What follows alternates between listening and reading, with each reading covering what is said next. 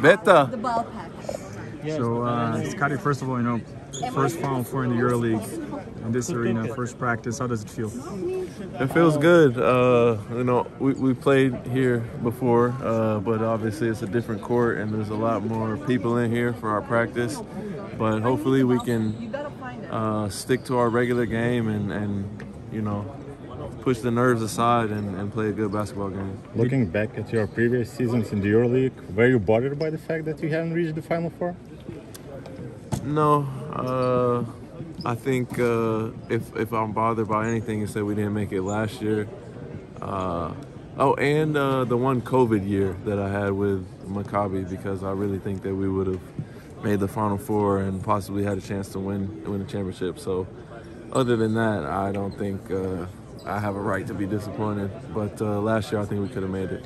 Scottie, speaking of Maccabi, we were told that you may have followed the game last night, the Derby.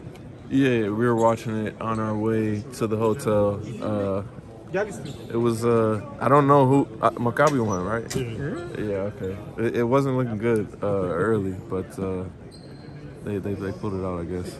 And usually, at least uh, these kind of events, everyone talks about experience. Technically, you don't have any Final Four experience, but I guess at this point in your career, you've seen you've seen plenty to compensate for it. Would you agree with that? I mean, your guess is as good as mine. Uh, You're right. I have zero experience in the Final Four, but uh, you know, eight eight seasons in the EuroLeague. Uh, everybody says that the Final Four is different, so I guess I'll see you tomorrow. How has it been, Scott, to work with Saras as a, as a head coach?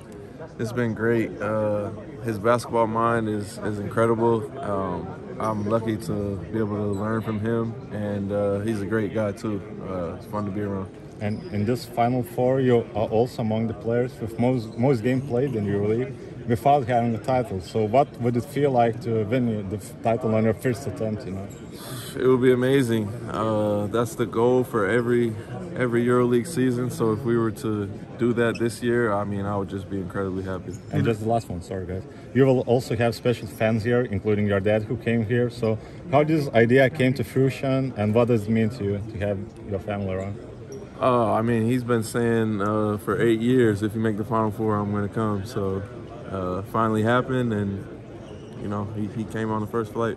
Appreciate appreciate Yeah. You know, having two Euro, two EuroLeague Maccabi legends with you and Saras, specific facing Panathinaikos who just eliminated Maccabi. Is there something extra in addition to? I've gotten plenty of tweets suggesting uh, to you know do it for Maccabi, but uh, I got enough on my plate. I'm just trying to win it for myself and win it for my teammates and win it for Fenerbahce. Scott, obviously it's a first Final Four, but we cannot overlook the fact that during the Euro Cup you were one of the main contributing factors to winning the Euro Cup with Dachka all them years ago. So experience might not be lacking after all.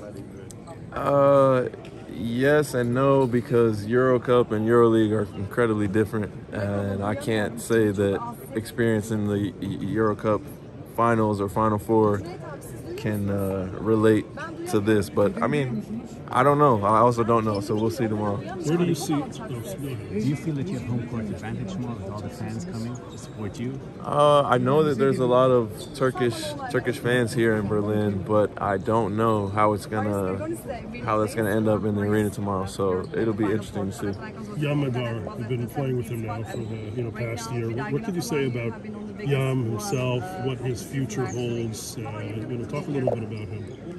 He's a great guy, first of all. Uh, great to be around. Um, and I'm interested to see how his career shapes out because he definitely has a lot of talent and I think a lot of potential.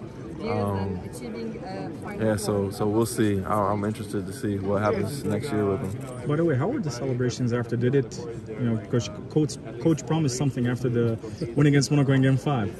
So we're asking, was that did it really well? happen? It was an epic flight home. it was. Scottie, this morning Coach Saras stressed out the, the concept of opportunity, like always giving the opportunity to his players. Uh, how much would you think the concept of opportunity and you being, being given that all throughout your career has helped you become, you know, an established player in the EuroLeague? Uh, that's that's huge. Opportunity has been probably the biggest factor for me, uh, and it started with Darüşşafaka and specifically David Blatt giving me the opportunity to lead the team. Um, at a young age, and I've, I've had great opportunities since then with Maccabi and uh, now Fenerbahce. So I've been blessed, I think. Did you talk to Coach Blatt? Did he give you any advice whatsoever towards this one? No, I just I sent him a, a birthday video though. Apparently, they made a montage out of it. This this weekend potentially could mark two, one or two of the best games with Fenerbahce. Who knows? But so far, who, which which are the best games in your mind that comes to your mind when when thinking about Fenerbahce and your your trajectory with them? I, I don't know. The the my favorite game was uh, definitely Game Five against Monaco. Uh, the the game that got me my first Final Four, uh, and we'll see if uh, this weekend there's a better game. Scottie, what changed with uh, with Saras instead of uh, instead of Benitez? I mean, something more mental or uh, really technical? Uh, a, a bit of both. Uh, with the coaching change mid-season, there's a level of energy that's injected into the team, no matter who the coach is or you know. So there was a bit of that, and I think he adds a, a really a really strong technical mind when it comes to the game. He really focuses on the details, and so uh, yeah, I think that's that's helped us. And how much confidence did you get from uh, winning a, a game five on the road and making history in the EuroLeague? I mean, confidence for the whole team. Yeah, it was great. Uh, we believed we could do it last year. Uh, we came up short, and uh, we wanted to take advantage of it this year. So it was nice to be the first, but I mean, it was it was short lived because Olympiacos did it right after us. Scottie, you guys have the in this matchup. You have a deeper front court. Uh, and backcourt is, I mean, crazy talented. What would you think play a bigger role in this in this matchup against Panathinaikos? Uh, it's hard to say because it could be anything, but I think uh, turnovers uh, could play a big role, and obviously just making shots. I've, I've yeah, I think uh, I think that's turnovers will be a big key. If we can limit our turnovers, at least for us, that, that will put us in a good position. Calathes will make the winning three again. Hey, I hope so. I, uh, if any of us make the winning three, I'll be happy.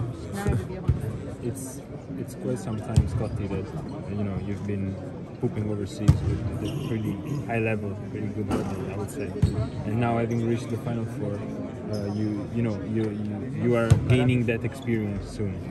Um, which advices would you give to American pl- players coming overseas to try, you know, get uh, get some you know some, some good opportunities in Europe and eventually playing in the EuroLeague?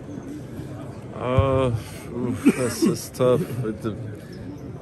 I think it depends on the person mostly, but if I could give general advice, it would be to be a team player, not try to, uh, not try to do everything, uh, but like sacrifice a little bit for the team, like boxing out stuff like that that doesn't show up on the stat sheet. Uh, think things like that are, are important for setting yourself up to be on good teams and uh, to win the respect of your coaches.